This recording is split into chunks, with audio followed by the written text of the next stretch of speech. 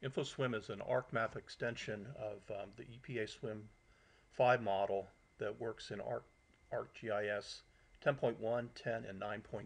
It consists of a table of contents of different layers, and the layers are basically SWMM 5 features, junction, dividers, subcatchments, conduits, etc. And you have the additional um, InfoSWMM features of having a 2D model, you can have background bitmap layers, you can have different soils.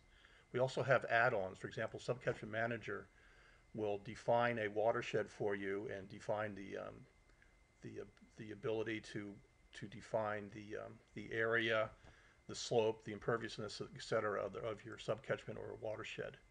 There's also a browser, so you can look at each of the different features of InfoSWMM by using a a browser so you can see what the junction data is. So for example, a junction can have either 2D, inlet, or none as, as an option. You also get the output from that.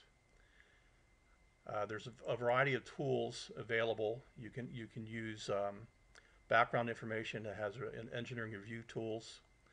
It exports to SWMM5, imports from HEC-RAS and exports to HEC-RAS if you have transect data.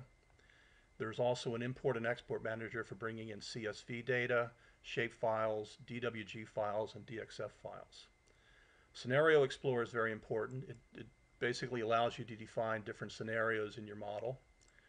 Um, we also have a, a, domain manager and a facilities manager, so you can have different amounts of um, data or conduits in different in different features. The run manager is similar to um, SWMM 5 except that we have the ability to have more than the SWMM 5 runoff so you can have the um, SCS unit hydrograph, Snyder, etc. You can run it in steady, kinematic wave, or dynamic wave. Water quality, in addition to the SWMM 5 features for water quality, we also have H2S, corrosion, trace, sediment. In addition, we also have the ability to model to model your simulation using 64-bit engine, 32-bit engine, or multiple cores. So you can have up to 16 different cores if you have a, um, a machine with a multiple cores. You run the model, and the model comes up, output comes up in a uh, text HTML, so you can look at the, the model data, etc. You can review the model data using the output, output report manager.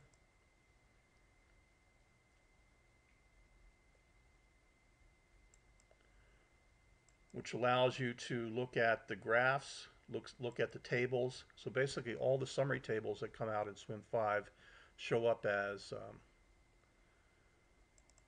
show up as tables inside of uh, inside of uh, InfoSWMM that you can copy and paste, etc. There's also a calibration feature so you can have uh, calibration, ca calibration data.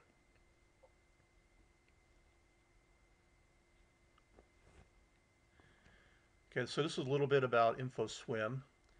It's built around the SWMM 5 um, engine, and we're, we're, all, we're always current with the, with the current SWMM 5.